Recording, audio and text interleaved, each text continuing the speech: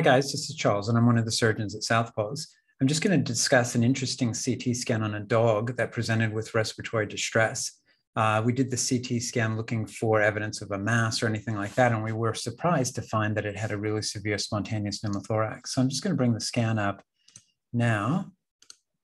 Uh, and so you can see that we are in sternal recumbency. So that's the sternum sitting right there that's the spine, and these are the two scapulas right there. We've got contrast in the uh, venous uh, or in the vascular system.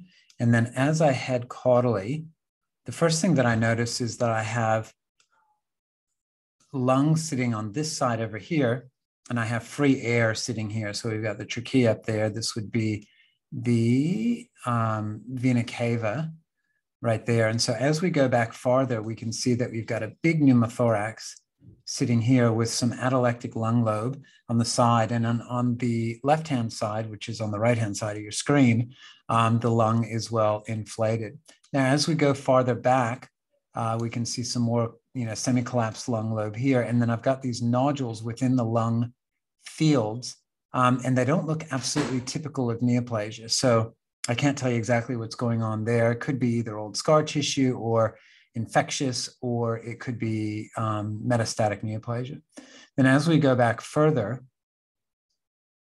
um, we can see more patchy densities with air bronchograms sitting here, which looks honestly more like consolidated lung lobe, um, consistent with, you know, uh, pneumonia or infection or something like that rather than cancer. Now, the other thing that we find here is that there are multiple nodules throughout all the lung fields, which are um, bullae, and those bullae uh, can be responsible for spontaneous pneumothorax in dogs. So here's another one right here. Um, typically happens in large, deep-chested dogs, and that's exactly what this dog was. Was a large, deep-chested, um, curly-coated retriever.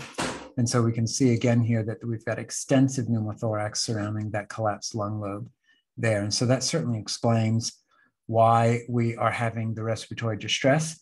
Um, the emergency service has put in um, a chest tube, and I'm just going to see if they happen to have rescanned afterward. No, they haven't. Um, so it'd be interesting to see if they rescan afterward to see what would happen when we re-expanded those lungs.